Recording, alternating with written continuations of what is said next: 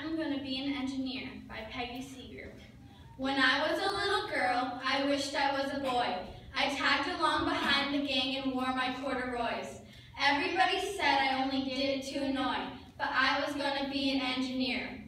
Mama told me, can't you be a lady? Your duty is to make me the mother of a pearl. Wait until you're older, dear, and maybe you'll be glad that you're a girl. When I went to school, I learned to write and how to read some history, geography, and home economy. Typing is a skill that every girl is sure to need, to while away the extra time until it's time to breathe. And then they had the nerve to say, what would you like to be? I says, I'm going to be an engineer. No, you only need to learn to be a lady. The duty isn't yours for to try and run the world. An engineer can never have a baby. Remember, dear, that you're a girl. She's smart for a woman. I wonder how she got that way. You got no choice, you got no voice. Just say mom, pretend you're dumb. That's how you come to be a lady today.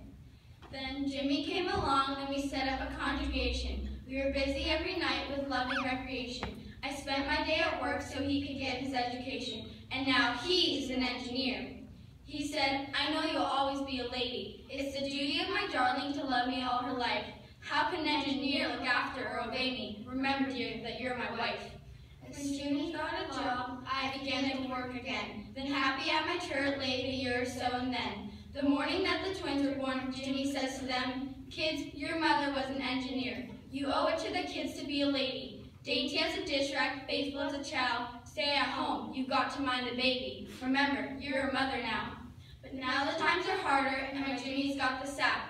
I went down to Vickers, they were glad to have me back. But I'm a third-class citizen, my wages tell me that, and I'm a first-class engineer.